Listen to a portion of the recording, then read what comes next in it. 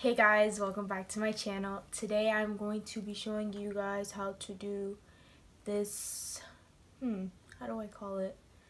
It's like a... I remember when, I remember, I remember when I lost my mind. There was something so pleasant about that place. Your emotions on an echo in so much. Hey guys, hola. Thank you guys so much for coming back to my channel. Today I'm going to be showing you guys how I did this look. Without further ado, the get ready with me.